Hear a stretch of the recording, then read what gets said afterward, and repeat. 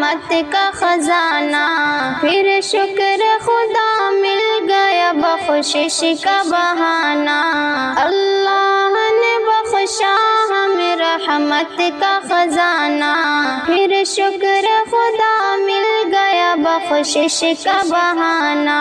नेकी से गुनाहों के सभी दाग मिटाए। रमज़ान का महीना चलो रब को मनाए। रमज़ान का महीना है, चलो रब को मनाए। बख्शिश के तलबगार बने सर को झुकाए।